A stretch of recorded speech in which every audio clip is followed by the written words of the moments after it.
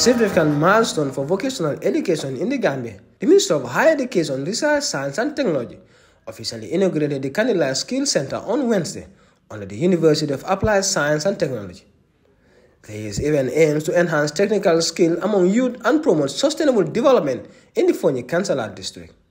The Kanilai Skills Center is designed to provide hands-on training in various skills including welding, tailoring and sewing, mechanical engineering, plumbing and fabrication.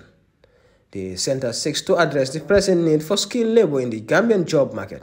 At the inauguration ceremony, the Minister of Higher Education, Research, Science and Technology, Professor Pierre Gomez, emphasized the government's commitment to improving educational infrastructure and creating employment opportunity for young people to combat high youth unemployment and the growing issues of irregular migration.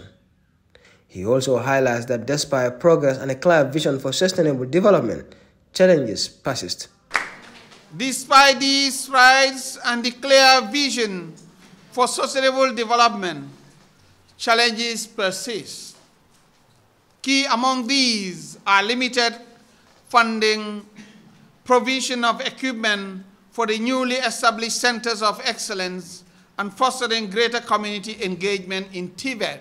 Because this is hands-on education, hands-on equipment, and they are very, very expensive.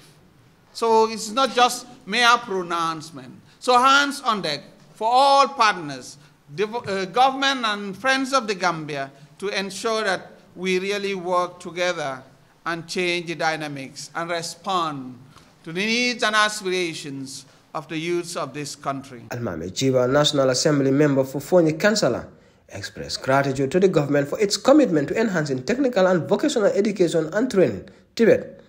He referenced a shared vision of progress aimed at creating a skilled workforce and urges both students and parents to embrace the training and knowledge that will be impacted to them. To the students who will be walking through the doors to this center, I urge you to seize this opportunity with both hands, embrace the training and knowledge that will impart you here. Remember, the skills you are required are not tools for securing jobs. They are instruments of empowerment that will allow you to shape your destiny and that of your families. The Turkish ambassador to the Gambia, F. Truga Oba, underscored the significance of the country's youthful demographic, stressing the need to address the challenges surrounding youth unemployment unemployment of the youth is higher than the average unemployment rate of the country. We have to tackle the unemployment issue. We have to bring hope to train the youth for the market needs and to make sure that the company in need may find qualified skilled labor easily.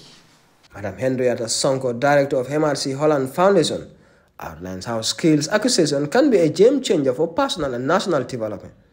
She reiterated her foundation commitment to continue support for the Kanilai Skill Center. The Honorable Minister and the Honorable National Assembly member, we are here to stay. Thank you. We are not yet done. What we said when we started, let's do the job which is required to kickstart this place. Because only if you kickstart the place, you will know where the gaps are. You may want to come up with different areas which you didn't envisage before you started the works. But as we go on, we will find out what else we will be requiring. And the sky is the limit for Fonyi Kansala, my, my hope. Speakers include Soda Bayer, the TIKA country representative, and the Vice Chancellor of USET, both of whom envision USET as a leader for others to emulate. I want a USET where they will need anything in the country and come to us. Our commercial uh, center, where commercial aspects, the innovation, the Institute of Innovation and Entrepreneurship is up and doing, ready to make sure that we have our production center working. And that is why we are having all this our TVET center coming to. The purpose of TIKA's support to the center is to provide the necessary equipment materials and supplies for the center's welding and tailoring programs to ensure effective skill trainings in these areas. The donated materials will also facilitate the transfer of the skills most needed in these industries. As the Gambia continues to invest in education and technology, the inauguration of Kanilai Skill Center marks a pivotal step towards building a skilled workforce capable of driving national development. For TFN News, I am Aliu Jallo.